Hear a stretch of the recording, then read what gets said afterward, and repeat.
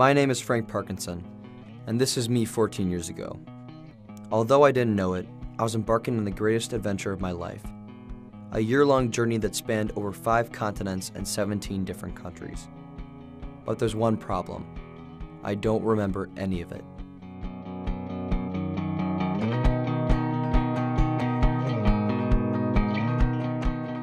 I've seen the home videos and I've combed through the hundreds of pictures, which have formulated this great story in my mind, but it never quite felt real. I knew that I'd been there, but not from my own intuition or memory, but from a screen. I decided that I wanted to learn more about our world trip, so I interviewed my dad, who has been very passionate about trying to pass on these memories to me. In a human sense, being married, having children, lots of great things. But the biggest adventure I ever went on was when we, my wife Elizabeth and I, took some of our kids out of school, sold things, and went around the world for a year. Both Elizabeth and I had a very, you know, typical kind of fast-paced, you know, middle America kind of lifestyle. Um, we both worked uh, jobs and had long work days. Uh, we had children and they had activities and school and it was a crazy time. So one of the things that caused me to seriously consider going around the world for a year was what I like to call, what time do you celebrate Christmas? Partner walked in and he looked at me because I was the senior most associate and he said, what time do you celebrate Christmas? And I'm thinking, this is a joke. And I look at everyone around the table, they're junior to me, and so they're all just kind of looking down. And I said, well, actually, we tend to celebrate this over a course of several days. And there was just this long silence, and he just stared at me, and then he looked at everyone else around the room, and they were looking down. And he said, fine be at your desk 9 a.m. on the day after Christmas. So it's already Christmas Eve. I got to drive all the way to Michigan. I'm going to be there for a day and I got to somehow figure out how to be back at my desk at 9 a.m. the day after Christmas. And for me, that, that just said a lot about, made me think a lot about what it was that I was trying to do because what I was aspiring to be was that person. And yet, I wasn't sure that I wanted to give what was needed to make partner.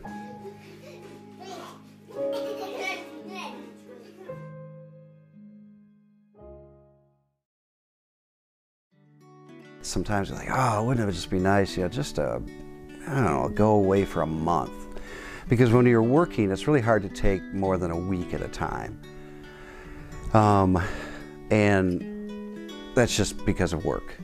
Um, so I think the most time I'd ever taken at one time was two weeks.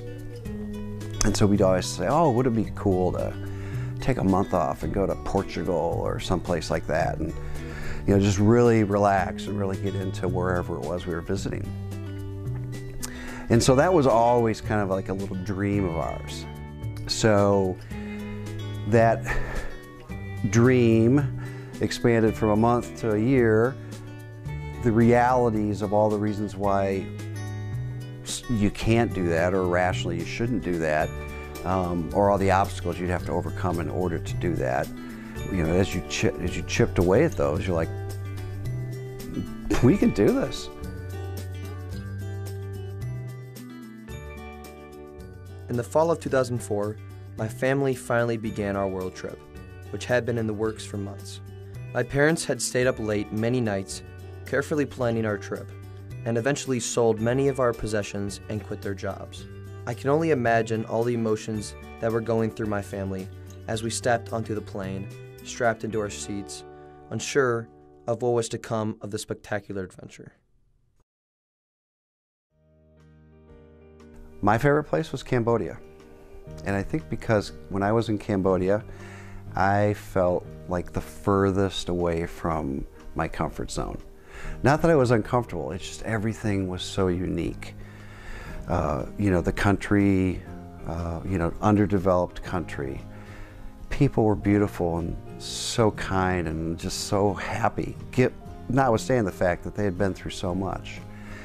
So I think when I was in Cambodia, I felt like, wow, I'm on a world trip.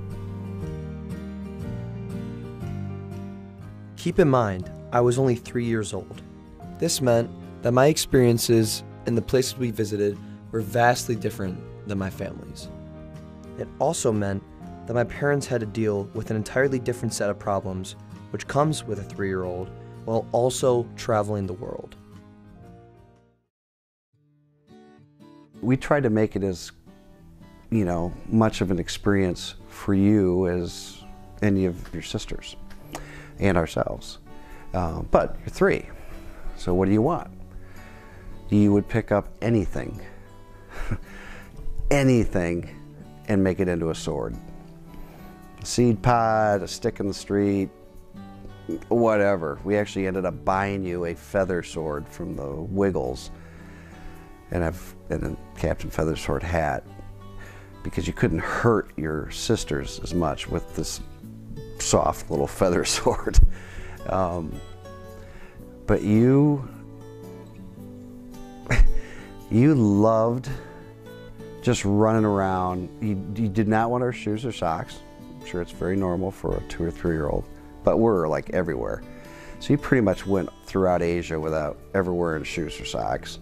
You loved fountains. You would, you would, you would like go away from us. If you saw a fountain, you would climb up and just start walking around the water.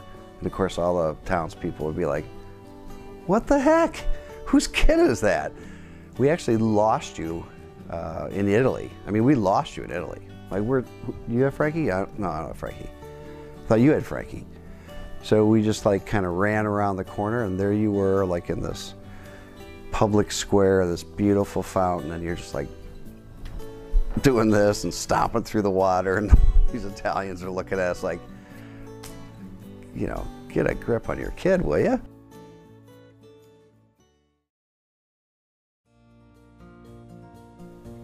The best experience from my, you know, from my perspective was 24/7 with their family, and for me, 24/7 with my children.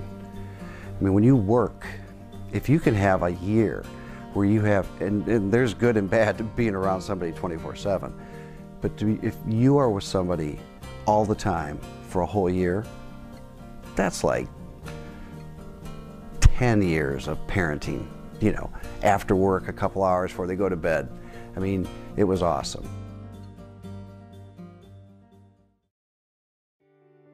People are inherently good around the world. That's what I came away from. And what I wanted my children to understand is that there, yeah, there are different looking people and they speak different languages, they eat different foods, they, they worship different gods. You know, they, they ride in ox carts. Uh, but they're all good people. And so you're hoping that your children learn tolerance, that they're not afraid of things that are different than what they're used to, um, and that they learn that they can they can travel around the world. And if all they need to do is smile, learn a few words of the language, be humble, and people want to help you. I really appreciate you wanting to interview me about this. And I'm glad that you're reading some of the accounts because you can I know that you were the youngest and you probably have the least unplanted, you know, memories of it. Um, but it was a wonderful year for me as a father to be with you every moment. And uh, I encourage you to go places and see things.